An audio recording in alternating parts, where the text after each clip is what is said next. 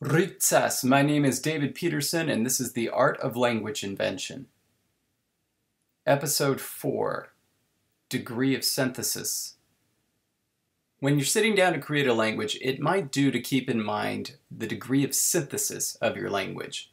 Synthesis, with respect to language, generally refers to how much information is packed into how much space on average.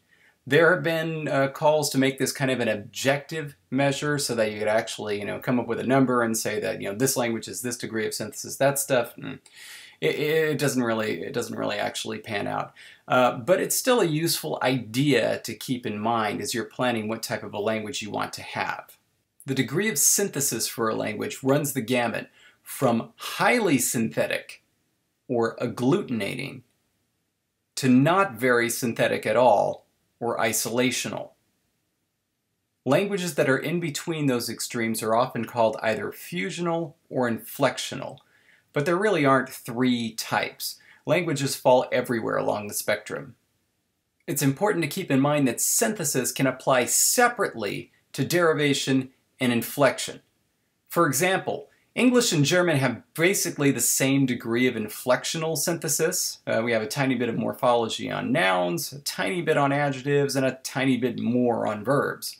When it comes to derivation, though, German routinely makes use of compounds that pile up and become enormous, while English generally does not. Similarly, in Mandarin, while there's only one inflectional affix, a plural suffix for pronouns only, pretty much, there are tons of compound words. It's hard to get through a sentence in Mandarin without using one or more compounds. They may not get as long as German's, but their frequency gives it a higher degree of derivational synthesis than its rock bottom degree of inflectional or relational synthesis.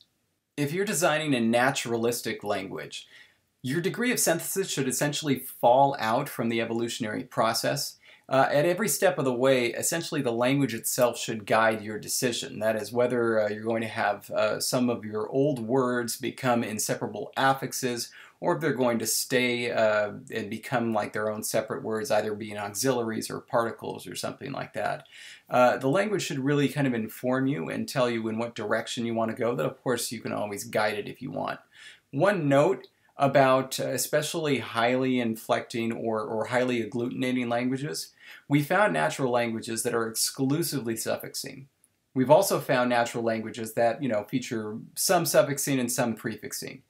We have never found a natural language that is exclusively prefixing or that is even predominantly prefixing with some suffixes that we have found the opposite. Um, I'm not sure what necessarily that means. It's probably just a byproduct of, of natural evolution. And certainly doesn't mean that a language couldn't be that way. That just means we haven't found natural languages that do that. So just something to keep in mind. That's it for this episode. If you have a question you'd like for me to answer on the show, leave a note in the comments or send an email directly to me at djpquery at gmail.com. If you want to see more videos like this one, feel free to subscribe. Thanks for watching.